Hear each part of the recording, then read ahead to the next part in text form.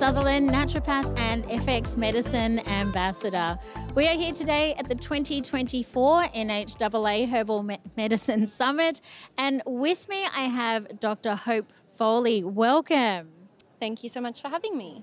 It's a pleasure. Now, I remember interviewing you last year, but since then, you've actually completed your PhD, finished it, and earned your doctorate title. But I also know that you've also been a clinician, a lecturer. What have you not done in our industry? Um, well, I haven't touched on product development and I haven't written any policy. So, a few things to tick off the list at some point, maybe. yeah, now you are speaking here this weekend. What are you speaking about? Um, for the most part, I'll be talking about a framework that we've developed around traditional knowledge. So, a lot of the research work we do is really aimed at breaking down those silos and barriers that exist between uh, naturopathic practice and research and education and policy to create, um, you know, more integrated approaches to everything that we do with that interdisciplinary perspective. Um, and part of that uh, we've developed a framework that's designed to support the use of traditional knowledge in contemporary healthcare settings. The amount of scientific research on naturopathy and other traditional medicine systems has really taken off um, sort of over the last uh, 10 or 15 years. Um, but there is this kind of tension in the community uh, where we, we don't want to risk losing those traditional roots.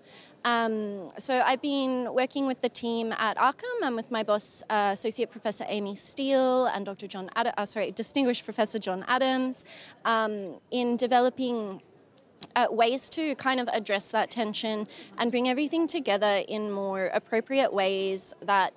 Uh, give respect to evidence based practice and to the traditional approaches, um, uh, you know, that, that holistic perspective. Mm, well, I, for one, love both sides, all the research, but I also love all that traditional knowledge and learning where we came from. Um, one last question for you. I just thought of it. What do you see as the future of naturopathic and herbal medicine? What do you see? Um, that's a very big question when you think about where we are at this point in history, especially uh, with climate change um, and all of the, the, the the flow and effects of that. Um, but what I see for the future of the naturopathic profession is a very adaptable and highly resilient community um, with all of this really important knowledge. Um, you know, we know how to make medicine from plants, right? Um, so yeah, I think I think that I just see a really adaptable community that's going to be providing more and more importance um, to our society as we as we move forward. I love that. We definitely have a large part to play in public health moving forward. Thank you so much for joining us today.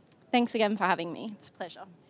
Don't forget to head to the website and check out all the incredible resources that we have there for you. Thank you.